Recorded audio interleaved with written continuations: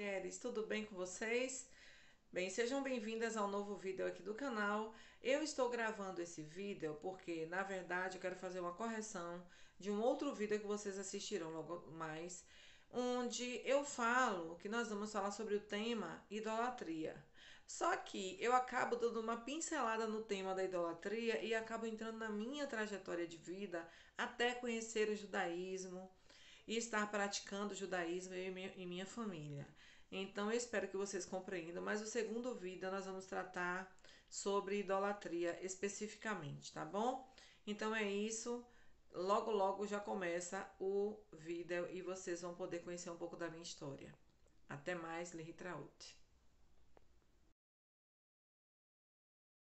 Estamos de volta. Vamos prosseguir com o tema idolatria, avodazará.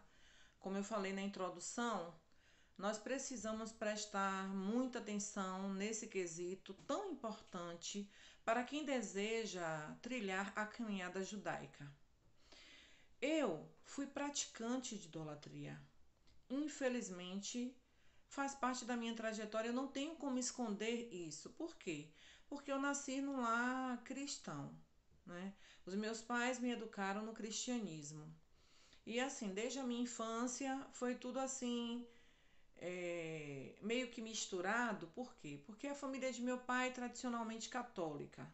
A família de minha mãe é cristã, mas como as pessoas dizem, né? Protestante, como é costumeiramente chamado, protestante.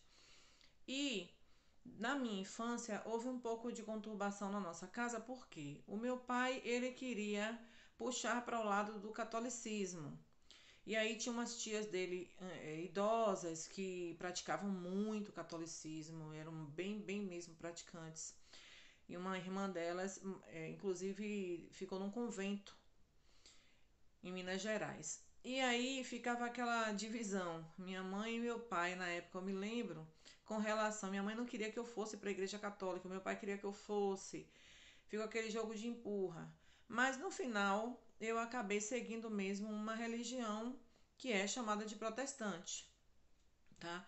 Nessa religião, eu não quero citar o nome para evitar problemas, mas que a minha intenção aqui não é denegrir a religião de ninguém, fazer lachonrará, nada disso.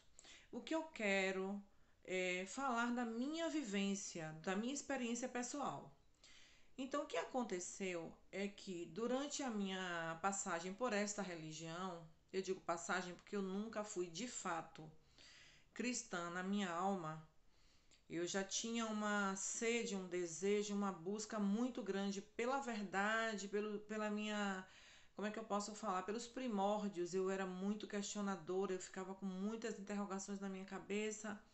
Então, foi realmente uma passagem. Lá, o que eu pude tirar de bom é que nessa religião a gente aprendeu a ter um respeito pelo dia do sábado semanal. Na época a gente achava que guardava praticando essa fé, mas no fundo, no fundo, hoje, com o conhecimento judaico puro que eu tenho, eu tenho certeza que a gente nunca guardou, a gente tinha a intenção no coração. Né? Essa cavana, claro, a gente tinha. Meu pai e minha mãe eram muito zelosos a nossa casa era toda condicionada ao, ao sábado, né? Havia uma preparação toda semana, porém, a gente sabe que é, quem guarda o sábado, Shabat, Shabat, realmente são os judeus. Porque existem toda uma. Como é que eu posso falar para vocês, para ficar melhor? Existem as 39 proibições de Shabat que não podem ser feitas e que somente o erudi, o erudi ele pode cumprir essas 39 proibições fielmente. As demais pessoas que não são, elas infelizmente não podem, porque é um mandamento para judeus, né? Então, em se tratando de Shabat, eu tenho a clareza em meu coração que a gente nunca guardou. Agora eu tenho essa plena convicção, depois que estudei bastante, que venho acompanhando, acompanhando, afinal não é pouco tempo que eu tenho de caminhada de estudos judaicos. Eu quero falar para vocês o seguinte: eu passei no cristianismo, eu permaneci durante 27 anos. Né? Foi o tempo da minha infância até o momento em que eu decidi largar tudo Eu tenho 15 anos já de trajetória de estudos judaicos, me considero judia de coração e de alma. Eu sinto que eu tenho uma alma judia, porque nada no judaísmo é pesado para mim. Tudo que eu faço no judaísmo é com muito amor, é com muita dedicação, com muita kavaná. Eu não, eu não acho nada pesado. Enquanto algumas pessoas dizem, ah, eu prefiro ser Bneinoa, Batinoa, porque ah, eu não consigo, eu acho difícil. Para mim, isso aí não existe, porque flui naturalmente na minha vida. Eu não consigo não praticar ah, os ensinamentos judaicos. No meu caso é diferente. Mas vamos ao que interessa. Eu estou dando essa introdução para vocês saberem um pouco da minha trajetória. Do cristianismo, quando eu saí, é, o que aconteceu? Morava em Salvador, Bahia. Em Salvador não existe opções para quem quer praticar judaísmo.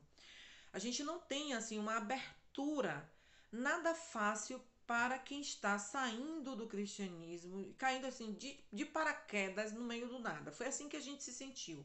Eu digo que a gente se sentiu porque na minha casa, eu e os meus irmãos de sangue é, saímos. Eu tenho um irmão, o nome dele é Marcos, tem outra irmã que é Vitória e Vanessa. Ninguém permaneceu no cristianismo, todos nós abraçamos de vez o, o judaísmo o monoteísmo, no caso, né? porque hoje nós nos encontramos todos na configuração de Bnei Noah. Eu me digo que estou Bnei Noah porque eu não me sinto Bnei Noah, porém eu não posso me dizer judia, embora eu me considere de alma, embora eu me considere de coração. Então, com relação aos meus irmãos, eles, um, quer fazer a conversão igual a mim, estamos caminhando juntos no desejo de fazer a conversão e as minhas irmãs seguem na prática de como batinoa. Perdão, acabei esquecendo de uma irmã, minha caçula, Priscila também é batinoa. Então, somos nós cinco que decidimos é, praticar e abraçar o monoteísmo. E assim, eu gostaria de dizer para vocês que foi a melhor coisa que aconteceu na minha vida porque aí sim eu encontrei a coerência de todas as minhas buscas, os meus questionamentos, tudo que eu queria saber de fato, que não havia resposta dentro da fé que eu praticava, eu encontrei no judaísmo as respostas às minhas indagações. Uma das coisas que não conseguia, eu que eu ainda estava ali dentro e eu tinha que de alguma forma me dizer praticante, era a Trindade, que não entrava na minha cabeça, né? Isso aí nunca ficou claro para mim até que realmente eu vim entender que Hashem é um, que Deus é um, não existe outro além dele, como a gente vê na Torá, no, no Taná, a gente tem descrito em Yeshayahu, né? Em várias passagens de, do Taná, a gente tem descrito que não existe outro além de Hashem. Eu posso citar para vocês que eu anotei algumas passagens e depois eu quero fazer um outro vídeo lendo esses textos, conversando com vocês é Yeshayahu 41, de 1 a 15, vocês podem ler. Nós temos 42 também, o capítulo 1 a 9. Temos o 43, de 1 a 14. 44, de 1 a 10. Tudo no livro de Yeshayahu vocês já encontram base para combater a prática da idolatria. E existem muitos outros textos. Esses são alguns algumas é, pontos principais que eu estou passando para vocês. O que acontece? A maioria das pessoas que são praticantes de idolatria, elas não percebem de cara o que estão fazendo. Muitas têm o kavaná sincero, intenção pura em quando saem do cristianismo e acham que estão praticando o judaísmo, que caem no, no, no meio, né? Vamos dizer assim, no meio da estrada, que eu posso dizer para vocês. Elas acabam praticando por quê? Porque não acham uma outra, vamos dizer, uma porta ali de imediato. Não achavam no passado, tá? Vale a pena salientar para vocês isso. Por que eu digo no passado? Que eu digo no passado? Porque na época que eu e meus irmãos começamos, começamos a entender, a estudar o judaísmo, nós não tínhamos acesso a essa, essa quantidade, essa gama, esse leque de vídeos, de rabinos. Hoje está muito mais fácil do que na época que nós buscamos. Hoje você tem no YouTube, você tem no Zoom, você tem no Instagram, no Facebook, A cada segundo você tem um vídeo novo. Os rabinos estão trabalhando intensamente para desmascarar a idolatria. Você tem acesso à informação. Na época, 15 anos atrás, isso era mais reduzido. Então, os nossos estudos começaram por livros e nós tivemos acesso a um, um local que não praticava judaísmo em sua essência, o judaísmo puro e autêntico. Nós passamos por esse local e depois vimos que tinha coisa errada, aí percebemos que tínhamos que sair dali, aí fomos buscando, sabe, batendo nas portas, tentando achar o caminho para que a gente pudesse praticar o judaísmo realmente puro. Até que, no meio dessa caminhada, nós passamos pela Beit El-Shama. Beit El-Shama, para quem não conhece, tinha como responsável com o nome de nascimento Marcos Andrade Abraão. Hoje ele é Yehudi, Yehudi convertido, convertido né? Yehudi na, no judaísmo, depois que se converte, se esquece essa palavra conversão, né? Ele é Yehudi, ele e a sua esposa Hannah, eles vivem em Israel e nós tivemos acesso a esta, como é que eu posso falar, essa instituição lá em Salvador. E aí criamos grupo, nos reunimos e começamos a estudar com eles. É, ainda estávamos meio que misturados, mas dentro de todos os lugares pelos quais nós passamos em busca nossos estudos de achar realmente a essência judaica, lá a gente encontrou algo assim, como é que eu posso dizer, mais palpável, a gente viu que eles estavam dedicados aos estudos dos sábios, a Torá e numa busca muito sincera e concreta de judaísmo puro. Então nós resolvemos ficar com eles e continuar nossa caminhada. Até que Hashem, ele mostrou que essa instituição, ela realmente tinha sinceridade de coração e estava trilhando um caminho que acabou descobrindo toda a verdade e abandonando completamente tudo que pudesse significar Vodazara. E aí o responsável, é, na, na, época, então, Marcos Andrade Abraão, aqui nós temos muito apreço, estima, respeito e gratidão. Ele fez vídeos e postou na, nas redes sociais, no YouTube, em cada canal dele, que não existia essa questão de intermediário entre Deus e o homem, que só existia Hashem mesmo. Tudo mudou. Até porque nesse ínterim, eu e meus irmãos, nós estávamos chegando a essa conclusão, mas nós conversávamos, conversávamos entre nós mesmos. Olha, gente, isso aqui tá errado, isso aqui. E aí, o que é que acontece? Eu também recebi alguns materiais de um grupo que combate muito o trabalho missionário, de pessoas que vão buscar judeus para converter idolatria. Então eu recebi um material, uma apostila, a gente ficou estudando sobre esse material, pegando tudo direitinho, ponto a ponto.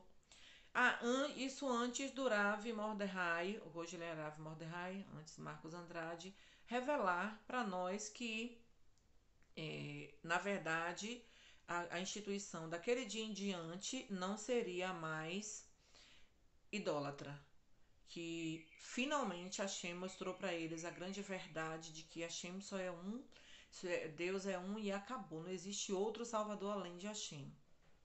Então, tudo, como é que eu posso falar a palavra? Corroborou, né, coadunou para que a gente conseguisse chegar ao finalmente daquilo que a gente já estava percebendo. E a gente foi muito grato a Shem por isso, porque nós tivemos essa capacidade de entender antes mesmo do Rav já revelar para a comunidade essa questão, tá? Então, é, aprendemos muito com eles, muito, muito mesmo. Foi assim um tempo de estudos onde eu pude aprender a principalmente no quesito das rezas, a importância das rezas na nossa vida, na mudança de configuração, de como nós podemos mudar toda a nossa vida na prática, no serviço, a Vodá Hashem, bem sincero, O Rav Mordechai, ele falava muito com veemência sobre isso. A esposa dele também, Haná, ela falava muito também para as mulheres. Era um trabalho assim bem direcionado, muito bem estruturado. Como eu disse a vocês, nós somos muito gratos. Mas enfim, eu não vou poder contar a história muito longa de tudo que nós passamos. Nós passamos por um período de sofrimento, que foi um sofrimento benéfico, que eu, eu considero como uma desintoxicação, um período de desintoxicação de tudo que a gente aprendeu. É a palavra mais apropriada, porque a gente estava intoxicado com idolatria. E a Hashem queria tirar de nós tudo isso. A forma que a Hashem encontrou de tirar de nós toda essa intoxicação, tudo isso que estava fazendo mal para nossa alma e que a gente precisava deixar para trás, foi justamente passando de local em local e percebendo, percebendo as incoerências. Havia decepção? Havia. A gente ficava triste? Ficava, porque, poxa, a gente achou que aqui já era o final da nossa caminhada, mas não é ainda, não é isso, ainda está faltando alguma coisa. Isso eu e meus irmãos percebemos, né? Eu, meus irmãos, meu marido, todos, todos nós juntos com as nossas famílias percebemos que havia essas, todas essas incoerências. Gente, eu ia falar diretamente sobre idolatria com vocês, mas eu entrei nessa parte da minha trajetória porque eu acho que pode acontecer de alguém se identificar com a nossa história e de repente eu levar estímulo para você que está bem no início da caminhada e já dizer a você que há uma forma de não passar por tudo que a gente passou. Você pode agora, na época que nós estamos vivendo, onde, onde o judaísmo está muito mais acessível do que antes, você pode ir direto ao judaísmo autêntico. Você não precisa ficar passando por esses locais. Tá? Eu não quero falar das pessoas que são dirigentes dos locais, mas eu quero dizer o seguinte: dos dirigentes por onde nós passamos, muitos deles eram pessoas sinceras que estavam querendo fazer o melhor, mas que dentro desse melhor estavam se perdendo, porque ao invés de buscarem da fonte pura, que são os líderes judeus, os rabinos, que estudam Torá, Torá escrita, Torá oral, que são formados, que passam por anos e anos de estudos e continuam ainda estudando, ao invés de buscarem dele, que queriam o quê? Estudar e se achar capazes e plenos de é, conseguir encontrar a verdade e eles mesmos direcionar as pessoas. Só que no meio disso tudo, o que é que acontece?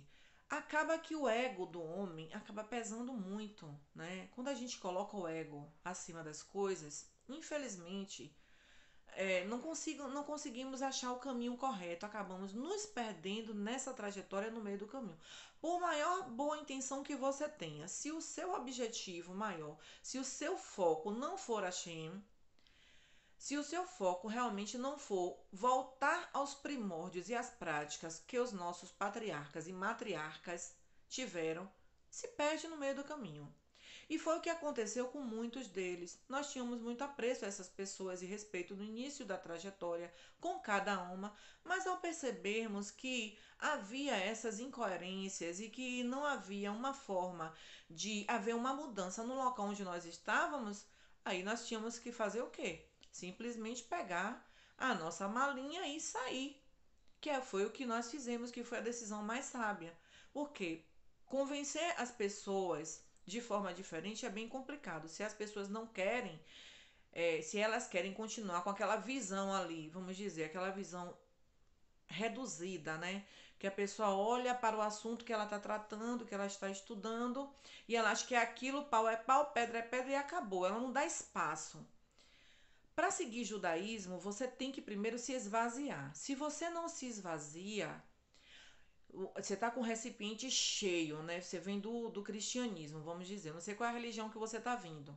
Mas eu, olha, preste atenção no que eu vou lhe dizer. Você está com o recipiente cheio, você não vai conseguir absorver nada se você não se esvaziar dos seus achismos, de tudo que você aprendeu e dar espaço para que você possa receber novas informações. Para ser judeu, primeiro você tem que ter coragem. Uma das virtudes que eu acho que a pessoa tem que ter, uma das midot, né, das qualidades, das características boas que você tem que ter para você seguir judaísmo puro e o judaísmo verdadeiro. Se você não tem essa capacidade de dizer, poxa, será que eu estou certo? Será que o que eu aprendi até agora realmente é aí que está a verdade sobre o povo de Israel? Israel praticou isso? Será que isso não está misturado? Se você percebe que onde você está tem misturas de religião, epa, aí é hora de você dar uma paradinha e você dizer, puxa, tem alguma coisa errada aqui. Para para observar, para para fazer essa análise. Eu peço para você, é, conversa com a Shem. Vai para o seu quarto, conversa com a Shem, faz as suas rezas, ou na sala onde é que você tem o seu espaço de rezas onde for um local mais silencioso que você pratica suas rezas diárias, você vai, conversa com a Shem e fala para ele, Hashem, olha, eu tô assim, assim, assim. Eu, eu quero te buscar realmente, eu quero fazer a tua vontade, mas eu quero que tu me direciones ao caminho correto, ao caminho dos primórdios, ao caminho de Abraham, Isaac, Yaakov, né? Ao caminho de Sara, Rahel, é, Rivka, Leia, cada um vai buscar, as mulheres e os homens vão buscar de Hashem a direção. E aí Hashem vai conduzir, tá? Mas voltando ao que eu estava falando antes, com relação às, às lideranças de onde nós passamos, realmente nós percebemos isso e vimos que o melhor mesmo era nós sairmos e buscar um direcionamento para que nós pudéssemos chegar ao objetivo que a gente sabia, a nossa alma estava identificando que nós não estávamos no objetivo ainda correto. Então, Baruch Hashem, que nós passamos por esse outro caminho, né? Pela é, Beit Shama. E aqui nós chegamos, depois desse tempo com, com a Beit El Shama, nós chegamos à, à essência realmente judaica. E continuamos. Eu estou aguardando, hoje não moro mais em Salvador, moro em São Paulo. Vim com a minha família para me aproximar da comunidade judaica para que nós possamos ter acesso a uma sinagoga, para que nós possamos estudar eh, judaísmo e nos prepararmos, né? Estudar as alahot, embora eu já estude já há algum tempo, mas a gente tem que estar no, no espaço é, sempre orientado por rabino. Hoje eu faço parte de um grupo do Rabino Gloiber e fui muito bem acolhida. E em breve eu quero estar conhecendo ele, a esposa dele, Braha, que tem dado uma assistência assim muito importante para mim e para todas as mulheres que estão no grupo. Eles são líderes de uma ONG. Então, gente, esse vídeo a gente vai ficar aqui com um pouco da minha trajetória, tá? Eu quero falar com vocês, vou falar no próximo vídeo sobre a questão da idolatria, o que é que eu acho, como você deve fazer para que você possa fugir da idolatria, para que você possa praticar o judaísmo realmente puro.